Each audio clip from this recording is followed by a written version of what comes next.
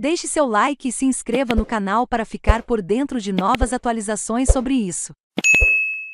Em duelo equilibrado, Corinthians e São Paulo empatam pelo Brasileirão Feminino.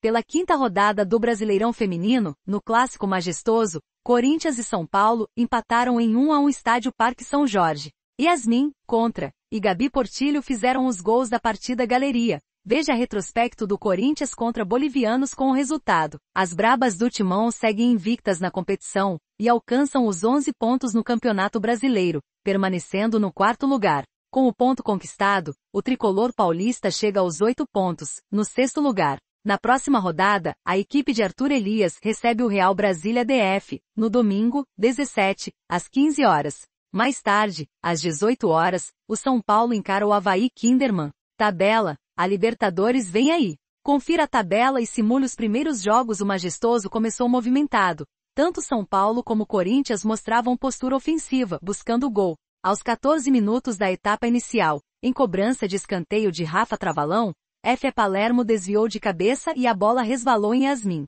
Lelê não conseguiu evitar o gol contra, e o tricolor saiu na frente. O São Paulo dominou as ações na primeira etapa, mas não conseguiu ampliar a vantagem. No segundo tempo, o Timão retomou o controle da partida e pressionou as visitantes. Aos 36 minutos da etapa final, Gabi Portilho recebeu na intermediária e acertou bonito chute, igualando o marcador.